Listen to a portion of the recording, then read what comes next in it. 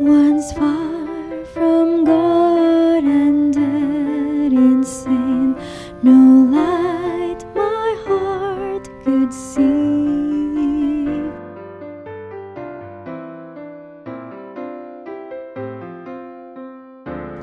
Now